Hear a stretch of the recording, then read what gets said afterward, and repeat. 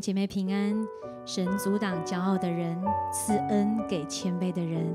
早晨，让我们谦卑降服在神的面前来敬拜他。求你给我一颗谦卑的心，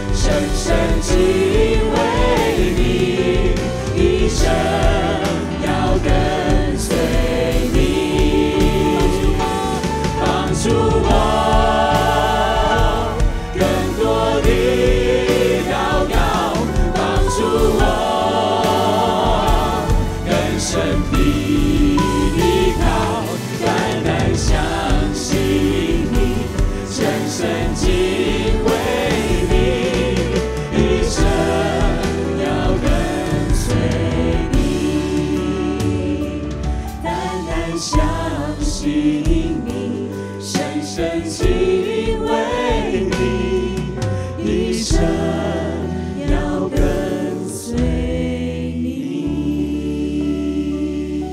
我们向你祷告，我们一生都要跟随你。主要因为你的道路高过我们的道路，你的旨意高过我们的旨意，愿我们的一生都能够敬畏你，一生都能够来信靠你。谢谢耶稣，祷告奉耶稣基督的名，阿门。亲爱的天父，求你赐给我一个敬畏你的心和一个顺服你的心。祷告奉耶稣基督的圣名祈求。我们来看马太福音第四章第五到第七节，魔鬼就带他进了圣城，叫他站在殿顶上，对他说：“你若是神的儿子，就可以跳下去，因为经上记着说，主要为你吩咐他的使者，用手托着你，免得你的脚碰在石头上。”耶稣又对他说：“经上又记着说，不可试探主你的神。”我们要过一个平安喜乐的生活，在一个危险的时代里，相信神的保护是很重要的。当然，我们相信神的保护，但是另一方面也要记得，我们不可以去试探你的神。神是保护我们的神，但是并不代表我们就可以为所欲为，去做一些故意做一些呃危险的事情，或者没有意义去挑战神的事情。我们的神从来不会叫我们拿刀砍自己，说不会痛，不会痛。我们的神也不会说你爬得很高啊，爬刀梯啊，让你觉得说都都不会割伤。我们的神也不会叫你脚踏在火上啊，都不会痛，证明我们的神很厉害。我们的神不是这样的神，神没有要我们从殿顶上跳下来，好像我们啊超级超级厉害。神没有要我们当超人，所以。但是撒旦用神的话来引诱我们落入试探，好像耶稣所遇见的试探。所以我们求神帮助我们，让我们必须要有一个谦卑的心，要知道怎么敬畏神，知道怎么用神的话去拒绝魔鬼的试探。魔鬼不能够伤害神的孩子。那么，因为我们有神的篱笆，有神的保护，除非魔鬼引诱我们，我们自己。走出了神的保护，我们自己拆毁了那个篱笆，那么我们就自然就落在魔鬼的试探里面。这是为魔鬼唯一能够做的，叫我们恐惧，用谎言把我们引诱我们，让我们脱离了神的保护，以至于魔鬼就可以毁掉我们。所以我年轻的时候，刚刚信主的时候，呃，也曾经落入在神的试探里面。那个时候不成熟，真理也不明白。所以真的啊，就好像这个这个圣经讲的啊，在殿顶上啊，撒旦要你跳，我还真跳了哈，这觉得自己很厉害，超了这一跳就付上了啊极高的代价。那后来回想，怎么会落入魔鬼的试探呢？呃，当然我里头的骄傲是很主要的一回事，主要的骄傲让我落入那个试探，以至于付很沉重的代价。但是我回头更仔细的想一想，我在。我自己落入试探、付上很高代价的时候，我觉得我学到了三个很重要的功课。为什么我会落入试探？第一个，我觉得是因为我当时，呃，没有属灵的遮盖。你知道，人很骄傲的时候，觉得我自己很厉害，我为什么要去跟属灵的交遮盖商量呢？所以我当时那件事，没有跟任何人商量。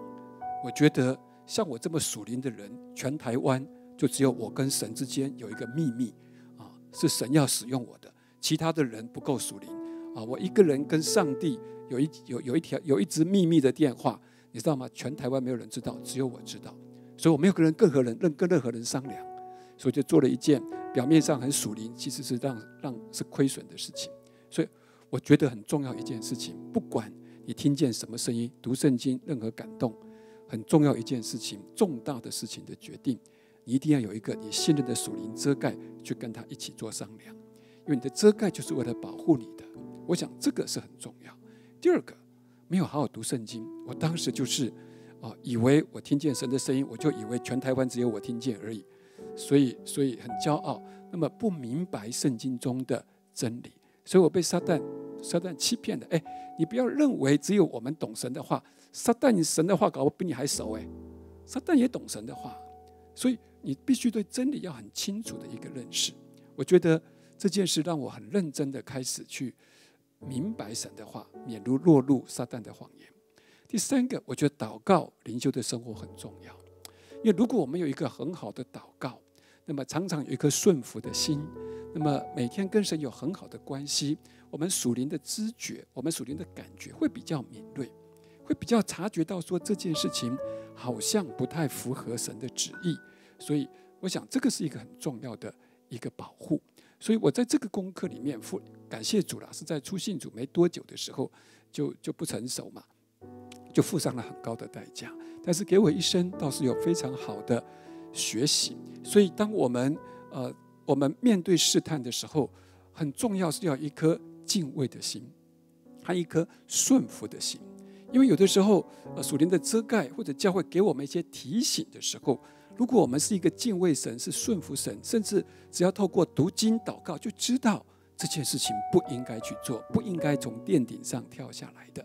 圣经有一段经文，《列列王记下》二十二章三十四节，讲到亚哈王啊跟约沙法王的征战。这个约沙法跟约沙法一起上战场，要跟亚兰王打战。这个这个亚哈王他有四百个先知，他就问这四百个先知说：可不可以在战场上？去跟就跟这个亚兰王征战呢？这四百个先知都拍马屁啊，都说没有问题，往你去，一定赢，一定赢，一定赢，一定赢。那个四百个先知里面有谎言的灵，那么那么所以说没有问题没有。但是有一个先知向来只说凶言不说吉语，这个先知叫做米该亚。这个米该亚他跑去问米该亚，这米该亚就跟亚哈说：“你不能去，你去的你去，你必定死在那个山上，你必定死在山上。”讲的很肯定。但是这个这个这个亚哈王，他就觉得这个人是跟他作对的，他不听，但是心里还是惧怕。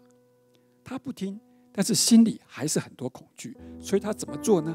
圣经中那句话很很很生动哦，他就变装上阵，他就脱掉他的王的那个战衣、王的衣服，变装上阵。他以为这样子没有人认出他是亚哈王了。可是圣经形容的很生动，有一个战士名字都没有，随便开弓。圣经讲随便开弓，就射进亚哈王的甲缝里，盔甲的甲缝里面，就把他射死了。哎，你平常要瞄准射那个甲缝还不太容易射得到啊。那随便开弓，一个是变装上阵，哎，就把他射死了。呃，神的命定，他就死了。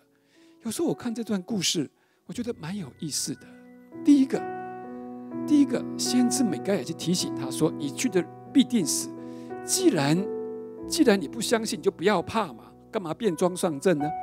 可是你又怕，但是又恐惧，但是不是悔改，变装上阵，结果人家随便一射把你射死了。先知米盖亚的警告跟提醒，可以是成为亚哈王的拯救。他只要在恐惧当中、敬畏当中，他悔改，而不是变装上阵。”那或许他就可以躲过这一劫。我想这也是米盖亚提醒他很主要的原因，不希望他死嘛。但是我觉得在我们真实的人生里面，很多的时候，我们心里有惧怕的时候，我们不是悔改，而是变装上阵。我们万绕一条路，其实你心里就有预感，这条路不该走，这件事不该做，你心里早就不平安了。你不用先知跟你说，你自己读经祷告，你也明白这件事就是不平安，这件事就是不该做。但你心里就想说啊，我做最后一次，或者想说，哎，我下次不做了，或者想说，哎呀，大家都这样做，我也没事。但你心里的不平安，在你心里早就很清楚了。你便装上阵，弄一个拐个弯去弄，结果人家不小心一射就把你射中了。生命中常有这种事，你很后悔，你会觉得你很后悔。你会讲说：“我明明就有不好的预感，是你明明有不好的预感，可是你没有悔改，你还继续的走在那条路上，结果你就看到，就落入了一个试探，就付上了极大的代价。”亲爱的弟兄姊妹们，你知道诗篇九十一篇一节说：“住在至高者隐秘处的，必住在全能者的印象。”我想问说：我们怎么可能住在至高者的隐秘处？怎么个住进去法呢？是透过祷告住进去吗？是怎么个住进去吗？我个人我认为，我们怎么能够住在至高者的隐秘处，也就住在全能者的印象，就是要顺服神的话语。我觉得敬畏跟顺服，神在我们的每一个基督的四四维都已经筑上了篱笆，就像在约伯的旁边，神为我们我们的家，我们在筑上的篱笆。只要我们自己不拆毁这个篱笆。我就告诉你，神一定会保护你。那个篱笆是什么？那个篱笆就是神话语的应许啊！那个篱笆就是神的话语，就是神的应许啊！如果你顺服神的话语，就是顺服在神的保护之下。当你顺服神，当你敬畏神，你不敢试探神，你真的不敢试探神，不是不想。我常讲说，我们人都是罪人，哪里不想想？不是不想，是不敢。为什么不敢？因为这是神的话语啊！我们不敢试探神啊！我们知道神是信实的，神也是，神是烈火，所以我们不敢试探神，我们就顺服神。哎，那你就会在至高者的隐秘处、全能者的印象，你就得到神的保护。在一个危险的时代里，如何能够勇敢的活着？你要相信神的保护，信心。第二个，你真的要顺服跟敬畏神，不可以试探神，在神的保护当中，可以勇敢的活着。我们一同来祷告。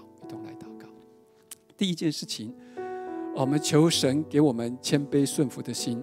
我们真的知道需要有权柄成为我们的遮盖跟保护。不管你是谁，都需要有个权柄跟遮盖。我们一起同声的开口，要来祷告。这是我们来祷告，有权柄的人当顺服，没有权柄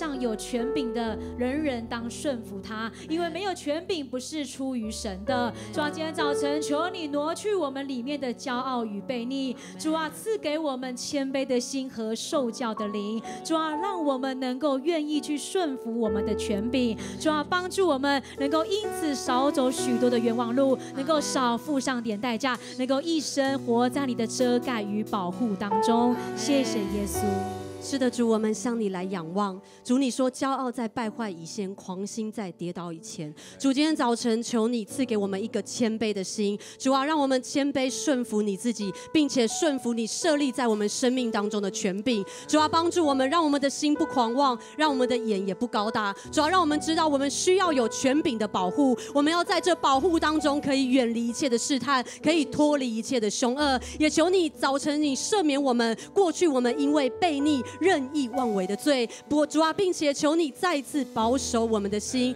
让我们能够柔软谦卑的活在你的保护当中。主，我们感谢你，奉耶稣基督的名祷告。第二个祷告，我们求神保守我们，给我们一个敬畏的心，不平安的事情就不要做，远离二世，过圣洁的生活。我们同声的开口祷告。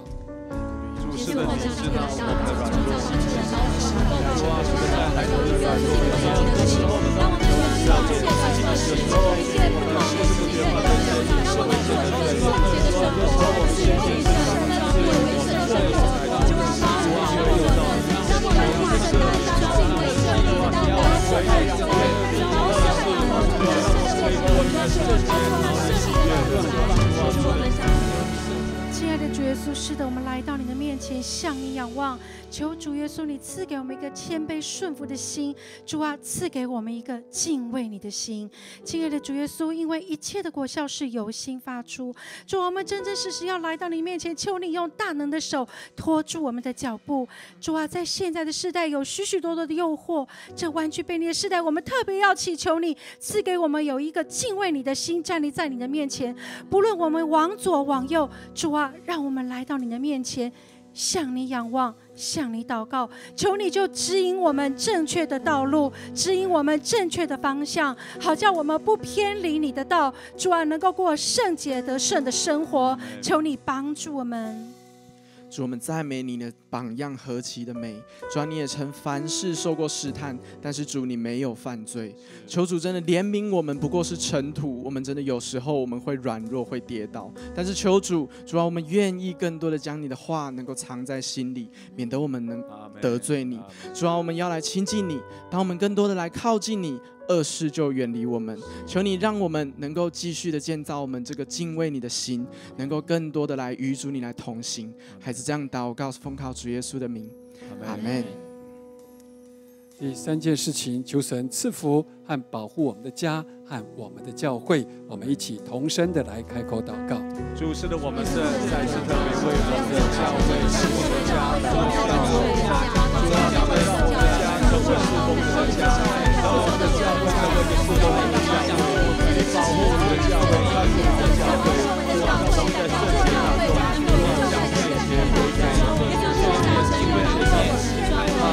会主耶稣，我们感谢你，祝我们特别为我们的家跟我们的教会献上感恩。主啊，你说我们当将身体献上，当做火祭，是圣洁的，是你所喜悦的。我们如此的敬拜，乃是理所当然。主，让我们教会、我们的家，在时时刻刻，我们都献上我们对你最真诚、最圣洁的敬拜。谢谢主。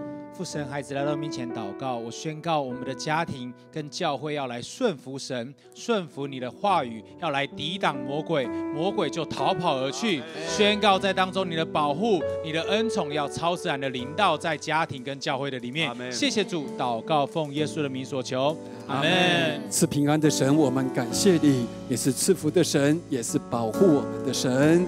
祷告奉耶稣基督的圣名祈求。帮助我。